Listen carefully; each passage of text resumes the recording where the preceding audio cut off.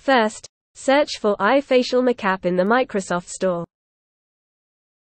Press the Install button to begin installation.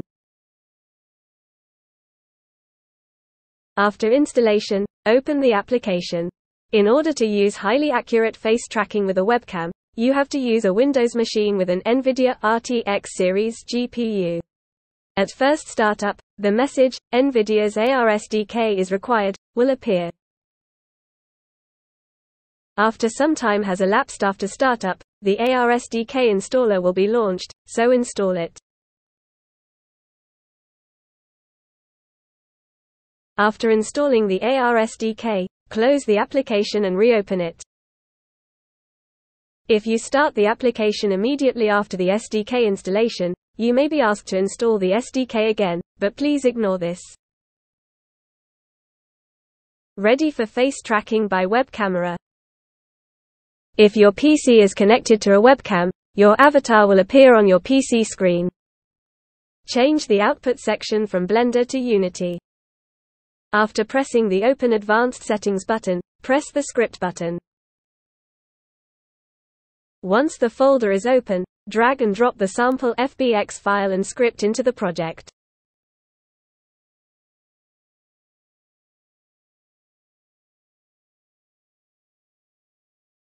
Load an FBX file into your scene.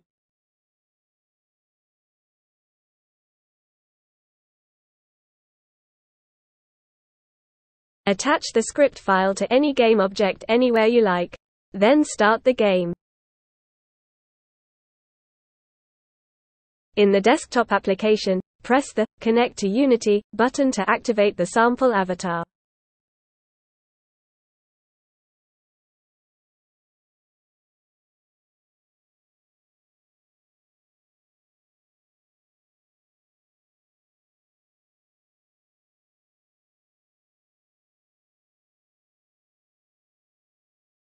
You can also switch from avatar view to camera view in the advanced settings.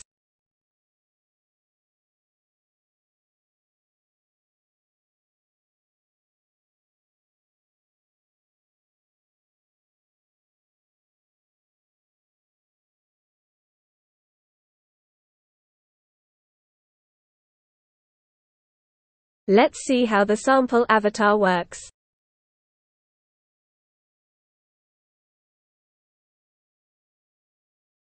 Select the skin object of the sample avatar and look at the inspector to see that 52 different blend shapes have been created.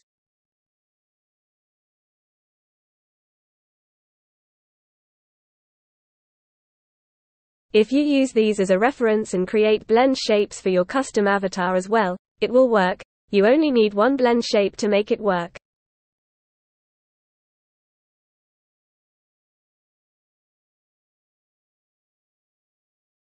If you set the bone names for the head and eyes in the desktop application, you can move them as well.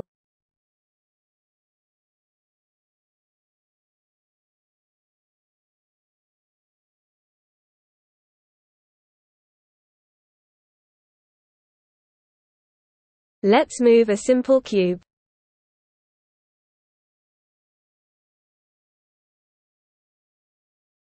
This is a cube created with other DCC software and has only a jaw open blend shape. Attach the script file to any game object anywhere you like.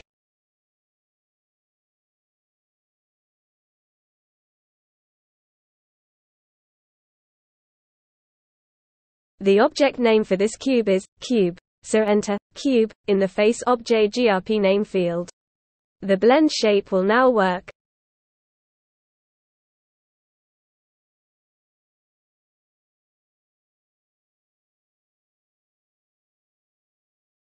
If you also use the name of the cube in the head bone field, the cube will rotate.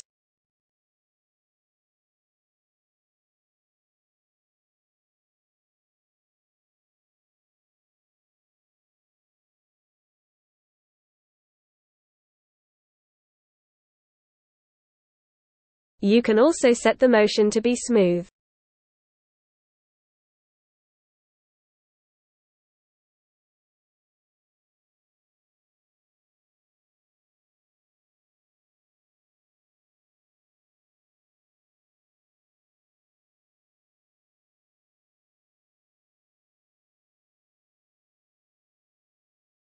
Next, learn how to move multiple game objects at the same time.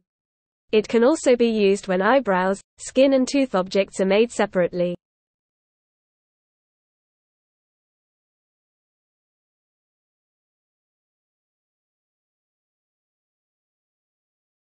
Create an empty game object and make the object you want to move the blend shape to be its child.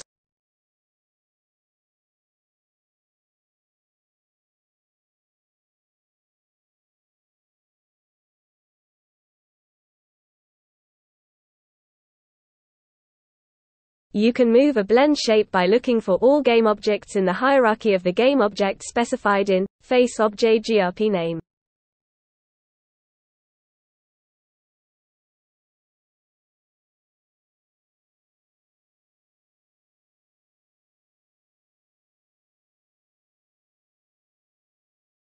If you want to rotate multiple game objects, you can do so by separating the names with commas.